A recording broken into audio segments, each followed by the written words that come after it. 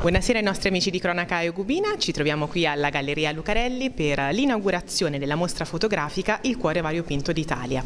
Eh, conosciamo oggi una fotografa, sicuramente comunque sia che rimarrà impressa nella mente di molti eugubini. Eh, la chiameremo per maggiore eh, facilità Margherita.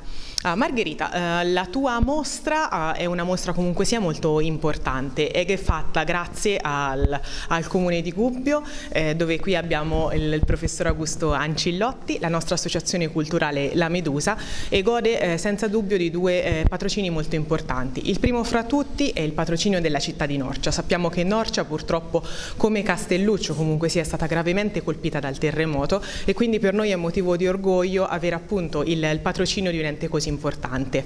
Eh, tutte quante le foto, quelle che poi voi troverete ehm, esposte all'interno della galleria, eh, sono in vendita e hanno eh, diciamo un nobile scopo. Infatti il 50% di tutto quanto il ricavato eh, sarà dato appunto alla città di Castelluccio per la ricostruzione.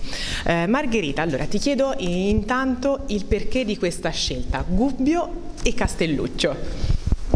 È due posti che sono innamorata. È la prima volta che sono venuta a Gubbio, c'era 2004, sì. proprio dopo Perugia, seconda città di, di Umbria che ho visitato e poi a Castelluccio la mia prima più lunga visita in Umbria, proprio ho fatto un posto da dove andavo in giro per diversi borghi umbri e poi Castelluccio è davvero è anche come Gubbio molto pittoresco esatto. e per un fotografo posto straordinario bello. Eh, Castelluccio è sicuramente un, un, posto che rimane nel cuore, senza dubbio. Eh, questa mostra, eh, come dicevamo, ha anche il patrocinio dell'Istituto Italiano di Cracovia. Eh, è una mostra che sarà itinerante o rimarrà comunque sia qui soltanto comunque sia in Italia, verrà poi esposta anche a Cracovia? Sarà esposta proprio dopo anche a Cracovia, proprio presso la galleria dell'Istituto Italiano di Cultura di Cracovia eh, alla fine di giugno questo anno.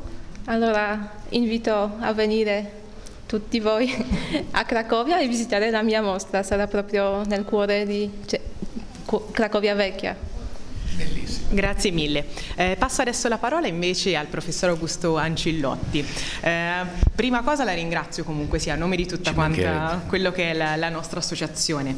Eh, quando il mese di febbraio siamo stati contattati e ecco, ci siamo messi un po' al lavoro, abbiamo subito comunque sia dato un parere più che favorevole comunque sia all'iniziativa, sapendo poi diciamo quello che era lo scopo in più. Eh, volevo appunto ecco, una sua battuta eh, appunto a proposito di a mia volta vi ringrazio, ringrazio la Medusa perché eh, senza di voi avremmo avuto difficoltà enormi a poter realizzare questa bellissima mostra perché la dottoressa Kistrin è sola, non può da sola affrontare tutto l'impegno che richiede una mostra e quindi voi l'avete potuta realizzare. E solo questo è un motivo, basterebbe questo per essere un motivo di grande riconoscenza da parte della nostra amministrazione. Siamo anche riconoscenti alla dottoressa Margherita Kistrin che eh, un bel giorno della sua vita eh, smise di fare la fisica nucleare decidendo che eh, si vive bene all'università ma si vive ancora meglio eh, usando la macchina fotografica per fissare emozioni, immagini, colori e, e situazioni eh, che, che veramente appartengono a tutto un mondo emotivo, emozionale, quello che io chiamo volentieri eh, dionisiaco piuttosto che quello apollineo dal quale proveniva la dottoressa, perché fare fisico nucleare vuol dire aver fatto una scelta tipicamente apollinea, no? razionale.